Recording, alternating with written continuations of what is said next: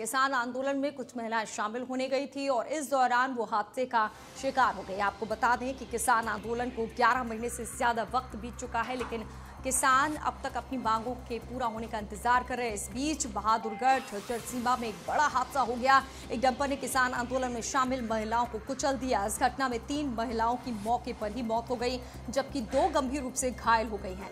बताया जा रहा है कि ये तीनों मृतक आंदोलनकारी महिलाएँ पंजाब के मानसा ज़िले की थी और किसान आंदोलन रोटेशन के तहत अब वे घर से निकलने वाली थी। घटना के बाद चालक डंपर को छोड़कर फरार हो गया है।